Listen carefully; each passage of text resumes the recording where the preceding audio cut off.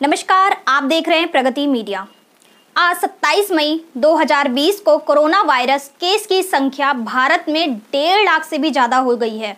भारत में corona virus case दिन प्रतिदिन बढ़ते जा रहे हैं। इसी बीच सरकार भी पूरे प्रयास में लगी हुई है कि कोरोना वायरस पर किस तरह से रोकथाम कर सके। भारत सरकार द्वारा कोरोना वायरस को फैलने से रोकने के लिए आरोग्य सेतु ऐप बनाई गई थी, लेकिन कुछ हैकर्स और कुछ राजनीतिक संगठन में इस ऐप पर सवाल उठा दिए गए हैं। इसमें प्राइवेसी डेटा को खतरा है। फ्रेंच एथलिक हैकर ने आरोग्य सेतु के सिक्योरिटी को लेकर सरकार को चैलेंज दे दिया था। आरोग्य सेतु ऐप को देश में 15 दिन के अंदर 5 करोड़ 40 दिन में 10 करोड़ लोगों ने डाउनलोड किया। केंद्र सरकार के मुताबिक कोरोना वायरस संक्रमण को रोकने के लिए तैयार किया गया यह ऐप देश में अब तक 3000 हॉटस्पॉट का पता लगा चुका है।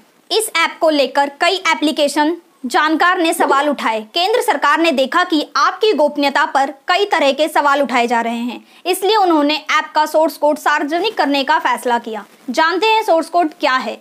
सोर्स कोड वह प्रोग्राम होता है जो प्रोग्रामर द्वारा बनाया जाता है। सोर्स कोड काम कैसे करता है? सोर्स कोड कंपाइलर द्वारा बाइनरी को कोड में बदल जाता है, जिसे कंप्यूटर समझाता है। राष्ट्रीय सूचना विज्ञान केंद्र ने शोधकर्ताओं को ऐप में खामियों को खोजने के लिए, प्रोत्साहन करने के लिए एक बग ढूँढने का कार्यक्रम की घोषणा भी की है।